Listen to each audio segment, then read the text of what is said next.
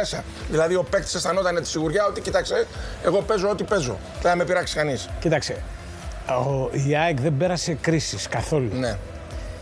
Νομίζω υπάρχουν μισ- μερικά μυστικά πέρα από τα προφανώς αγωνιστικά. Εγώ παρεμπιπτόντως διαφωνώ με τον Αντώνη για μένα. Ο καλύτερο ήταν ο Πινέδα, ο MVP του πρωταθλήματος. Μα, ε, αυτή είναι η ωραία διαφωνία. Ε, Μιλάμε για μπάλα. Μας συμφωνούμε Αλλά...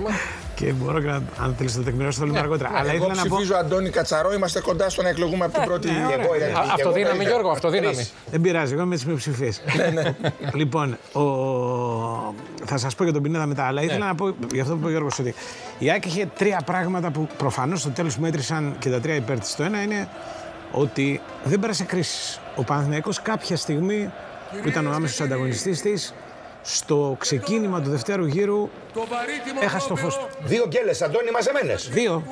Ε, τις πρώτες γκέλες. Ναι, Όφιο εγώ λέω τέσσερις στα έξι πρώτα μάτς Ναι, ναι, ναι. στο δεύτερο γύρο. Αν σου βάλω μέσα και, Ναι, το, ναι, ναι. και την Τρίπολη. Ναι, εγώ βάλα τα αρχικά. Τον Μπάουκ Βεβαίως. και τον Ε, Ιωνικό βεβαίως. και τον Όφη. Ε, Είναι πολύ μεγάλο το διάστημα. Εκεί ο Παναθηναϊκός άντεξε γιατί είχε κάνει αυτό το καταπληκτικό ξεκίνημα. Αλλά υπήρχε πρόβλημα. Αν σου μπει το μικρόβιο της αμφιβολίας, γίνεται μετά. Ζει, πρέπει να ζήσει με αυτό, δεν είναι απλό. Ενώ η ΑΕΚ δεν είχε τέτοια πράγματα. Το δεύτερο που είχε η ΑΕΚ είναι ότι είχε μια τρομερή βελτίωση αγωνιστική σε σχέση με πέρσι και γιατί βγήκαν οι μεταγραφές της. Οι μεταγραφές της βγήκαν γιατί ήταν κατά βάση επιλογές του προπονητή της. Δηλαδή, οι παίκτες που ήρθαν, ήρθαν από τον Αλμέιδα που είχε στο μυαλό του τι θα κάνει με αυτούς.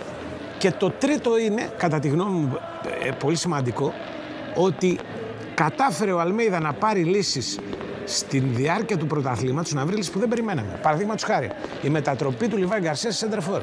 Είναι βγάλε τα γκολ του Λιβάη Γκαρσία από την ΑΕΚ, να δεις πόσο δύσκολο Καθοριστική γίνεται κίνηση. το πρωτάθλημα. Καθοριστική 14 γκολ από ένα ποδοσφαιριστή που αν δεν ήταν ο Αλμέιδα δεν θα έπαιζε Σέντερφορ. Αντώνη, δεν- Μπορεί να έκανε τρομερό πρωτάθλημα. Προφανώς Σέντερφορ δεν θα έχει έπαιζε. παίξει ρόλο και το γεγονός ότι η ΑΕΚ ήταν ένα περίσπαση το καλοκαίρι, δεν είχε ευρωπαϊκές Και αυτό. διοργανώσει και ο άνθρωπος την έφτιαξε όπως την ήθελε. Και αυτό. Βέβαια, οι είχε χρόνο να ευρωπαϊκέ πειραματιστεί. ευρωπαϊκές διοργανώσεις εν τέλει δεν είχε και ο Παναθηναϊκός που αποκλείστηκε πολύ γρήγορα. Θέλω να πω εκεί δηλαδή δεν, δεν άλλαξε κάτι πολύ. Το Έπαιξαν, ΠΑΟΚ είχε που και αυτός αποκλείστηκε πολύ γρήγορα. Και βέβαια μην ξεχνάμε σε όλο αυτό το αφήγημα του πρωταθλητισμού της ΑΕΚ το γήπεδο. Το γήπεδο είναι Μεγάλη ένας υπόθεση. καθοριστικός παράγοντας.